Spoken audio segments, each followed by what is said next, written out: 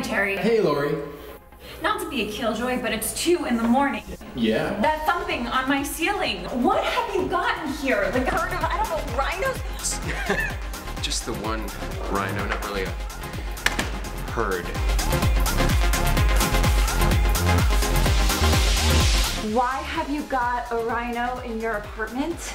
I know it's against code, but it's World Rhino Day, you know? Just wants to cut loose a little bit, have a party, kick out a couple jams. But can't he do that in like Africa or Asia or something? No, Laurie.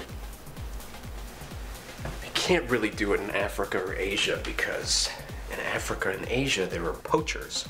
And if they see a rhino partying like that, they'll cut his horn off and leave him there to die. And then it's not really a party anymore, it's more of a crime scene. It's just that it's hard to sleep with an armor-plated mammal dancing above your head. Right. What if you joined us? Yeah, come be a part of the party. We got grass.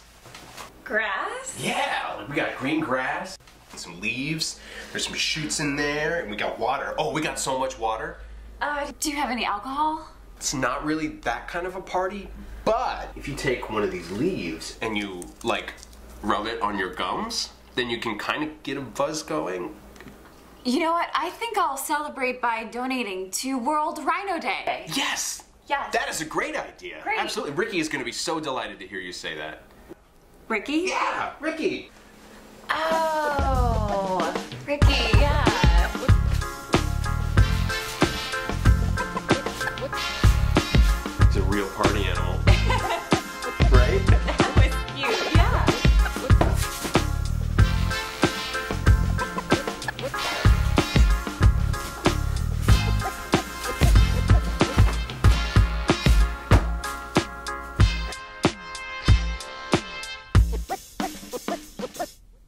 Ladies and gentlemen, this is for the world's record.